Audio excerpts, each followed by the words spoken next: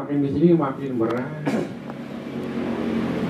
Jadi pejabat berat, nanti para korupsi nggak korupsi nggak balik modal, korupsi Nah itu Nah makanya sih jor-joran yang nyalon caleg ini ini itu kadang-kadang yo dadi yo gendeng gak jadi yo malah kan gendeng ya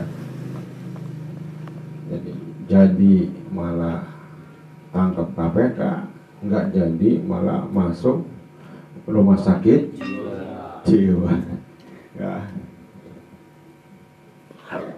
maka untuk menyelamatkan agama ini ikut guru.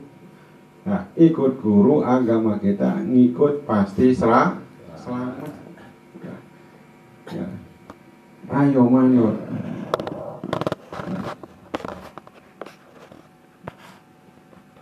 Manut porok ya, para guru mursi.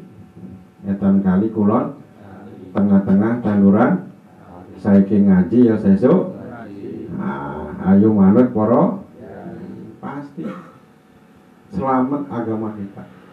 sebab apa? Sebab kita guru kita adalah guru yang luar biasa dan disampaikan. Abah itu bukan saja bukan wali tapi pencetak dicetak wali. Mencetak. Kata Abah kalau untuk jadi kiai butuh 10 tahun. Jadi kiai mah susah, nyetak kiai susah. Kalau nyetak wali lima menit jadi kata Abah. Jadi kalau nyetak kiai itu lama, tengkurapnya lama. Jadi pondok itu ngaji kan tengkurap, duduk kan capek di tengkurap. Apalagi ngaji kita besar tafsir jalan lain. Pernah saya ngilat tafsir jalan lain. Waktunya cuman ya satu minggu. Jadi satu minggu kilatan Pak Yai Satu minggu tafsir lain dua jilid uh, Tafsir lain satu, satu minggu Ya akhirnya benar Dari pagi habis subuh langsung ngaji gitu Sampai jam 10 Istirahat ngaji lagi sampai habis duhur. Habis duhur ngaji lagi sampai asar. Habis ngaji lagi saya menjelang maghrib. Habis bisa ngaji lagi sampai jam 12 malam. Ya itu kan ada yang duduk habis duduk tengkurap. Habis tengkurap miring habis miring oh udah. Ngaduk lagi pegelinu oh ah. ya, lama bener kata apa?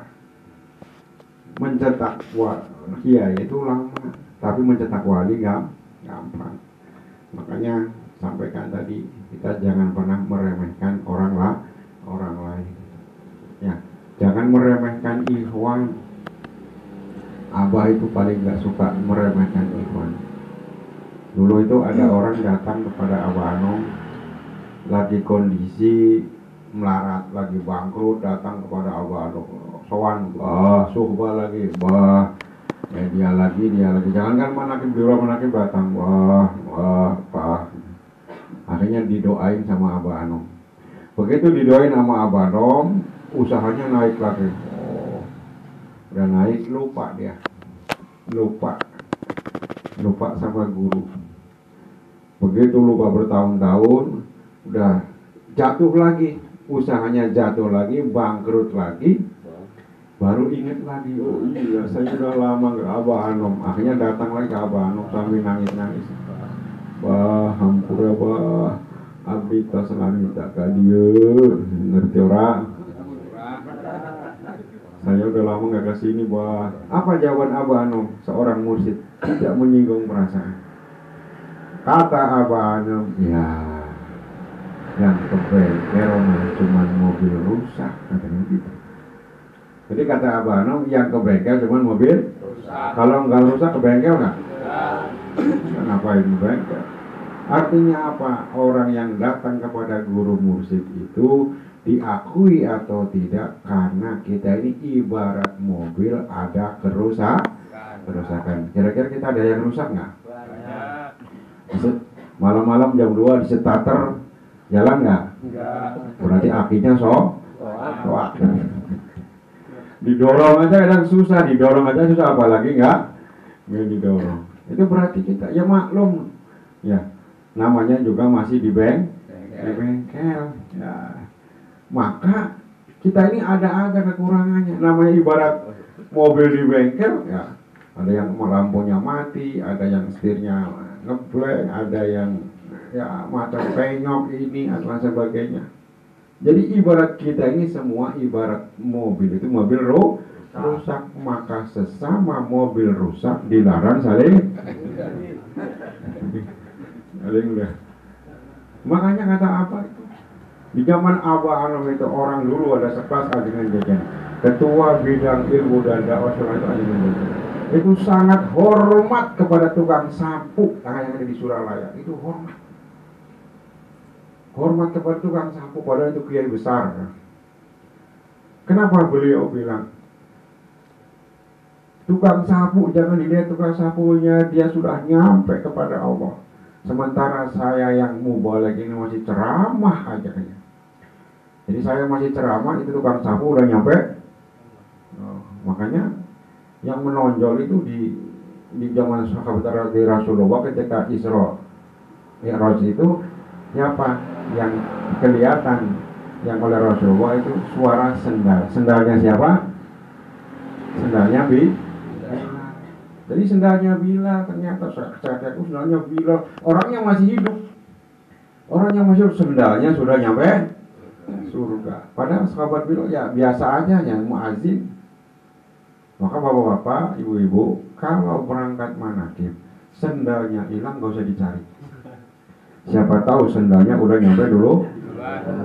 Itu. Ada yang sendalnya hilang kemarin. Kuncinya hilang. Ya udah. Enggak apa-apa sendal hilang. Wah, berarti alhamdulillah nyampe so. Sono tuh. Jadi seperti itu. Maka kita ini nggak boleh meremehkan orang lain Kadang-kadang tuh ada ya ikhwan tuh suka ada. Tapi di Jakarta kalau di sini mah nggak tahu ada nggak. Mudah-mudahan nggak ada. Di Jakarta tuh ada ikhwan yang datangnya telat tuh. Jadi datang telat, begitu datang, ya, langsung ngantuk, langsung ngantuk. Oh. Datang manakib langsung ngantuk. Manakib selesai, ah, ada ya ada kayak begini makanan, mal melek mangan mangan mangan mangan terus sambil ceramah panganan teh turun turun itu ada di Jakarta tuh ada. Tapi saya bilang ada. Kalau Iwan ada Iwan yang kayak gitu jangan diledek. Siapa tahu dia duluan nyam nyampe mana. Nyampe mana. Jangan diremehkan. Ya. Kayak tadi memang dunia dunia toriko itu beda dengan dunia jadi jangan dilihat riwayatnya. Kata abang nggak zaman ya, masa lalu tuh nggak ada. Masa lalu tuh nggak ada yang ada sekarang yang akan ada. Jangan dilihat masa lalunya. Ya. Syekh Abdul Qadir sendiri pertama kali muridnya adalah seorang perampok. Ya. Bahkan yang mau merampok Syekh Abdul Qadir menjadi murid pertama Tuan Syekh. Nah, maka murid Abah Hanam juga perampok juga banyak, dukun santet juga banyak. Itu zamannya zamannya itu uh, ninja ninja itu kan banyak orang itu para dukun-dukun pada datang ke sini layar tuh yang ngapu ada apa itu dukun katanya dukun. Semua diterima.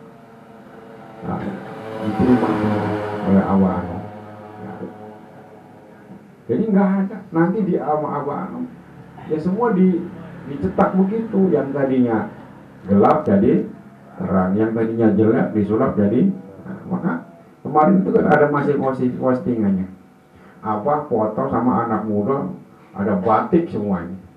Siapa namanya tuh? Ada anak pang. Ini batik semua pak. Jadi jadi ada kayak di gambar begini ini batik semua. Tato semua. Uh, suruh copot sama apa? Apa nyantai aja ya itu tadi mayasya orang dikehendaki oleh Allah nah Orang kaya begini, ini kalau tobat di lingkungan syariat, tatonya suruh diapain? Hapus. Ayo, hapus dulu setrika, di setrika. Oh, setrika bagaimana orang tatonya seluruh tuh? Ganti kulit, ganti kulit buaya. Nah, begitu. Tapi kata Abah, ya pakai hadisnya sama, dalilnya sama. At-taib minadzanbi kaman la dzanbalah. Orang yang bertobat dari dosa seperti orang yang nggak punya dosa selesai. Tapi kalau disyaratkan dibahasnya begitu, orang tobat dari segala dosa seperti itu, udah selesai. Abah diterusin orang yang bertobat dari dosa seperti gak punya dosa yang tadinya punya tato kemudian tobat seperti orang yang gak punya tato gitu.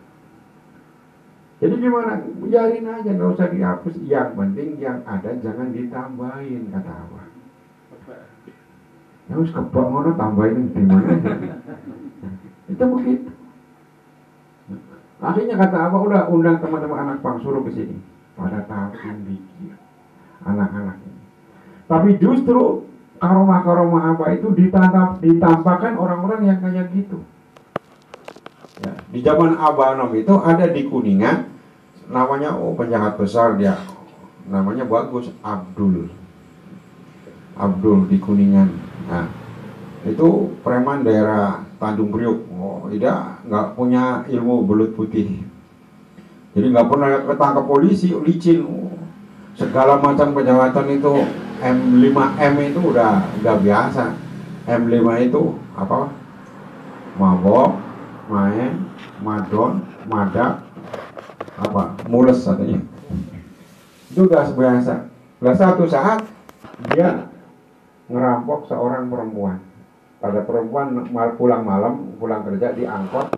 Abdul dan dua temannya ini masuk di langsung ditodong belati nih supirnya jalan dia bawa ke daerah Bogor. Di tempat yang sepi kayak begini ya biasa Abdul mau berbuat jahat kepada perempuan tadi. Tapi apa perempuan ini ternyata muridnya Abah Anom? Ya. di saat kondisi begitu dia ingat gurunya Abah Abah tolong saya bah tolong saya bah persis ketika di Mankoba ada murid Tuan Syekh Abdul Qadir yang masuk gua kemudian mau diperkosa. Apa yang terjadi? Ya, kalau murid Syekh Abdul Qadir berjia minta tolong, Syekh, Tuan Syekh tolong saya, tolong saya. Nah, itu konon riwayatnya ada di India muridnya. Syekh Abdul Qadir ada di di Baghdad. Syekh Abdul Qadir ngirim apa? Ngirim sendal bakiyah. Nah, bakiyah Syekh Abdul Qadir itu kan nggak sembarangan bukan bahagia kayu kayak kita sendalnya itu berapa itu harganya itu yang emas pak sendalnya itu emas. Emas bidung permata itu sendalnya aja. Ya emang akhirnya apa? Sendalnya dikirim. Nah itu secepat kilat dalam terus langsung sendal nyampe langsung ditamparin itu. Yang mau memperkosa mati di tempat.